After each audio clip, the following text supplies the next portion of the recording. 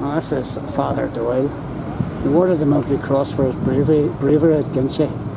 And a year later, when uh, the Irish and Ulster divisions fought together at Messines, his Christianity made, was made abundantly clear.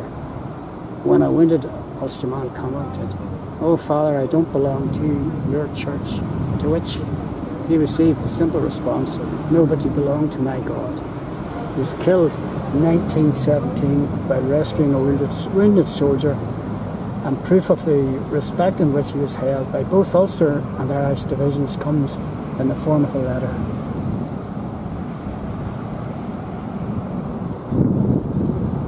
Among the 176 chaplains who died during the war was Rev Reverend Bayley Hardy, who despite his age and ill health insisted being sent to the front. He served with the Lincolnshire Regiment and he uh, was awarded a VC2, fitly wounded, October 1918.